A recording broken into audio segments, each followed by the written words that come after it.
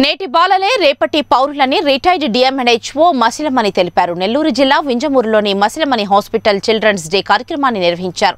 ఈ సందర్భంగా ఆయన మాట్లాడుతూ పిల్లలకి పౌష్టికాహారం అందించి సంపూర్ణ ఆరోగ్యంగా ఉండే విధంగా తల్లిదండ్రులు బాధ్యత తీసుకోవాలని వారు కోరారు. ఈ కార్యక్రమంలో YR junior college lecturer Midadala Rajareddy teachers Venkaiah Srinivasulu head nurse Nirmala staff సిబ్బంది తదితరులు పాల్గొన్నారు. ప్రతి తల్లి బాగుంటే అది ఒక నాగరికతమైన దేశంగా భావిస్తారు.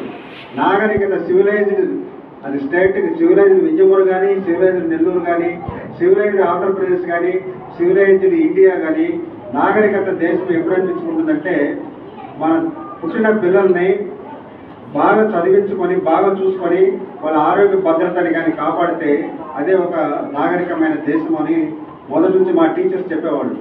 It is civilise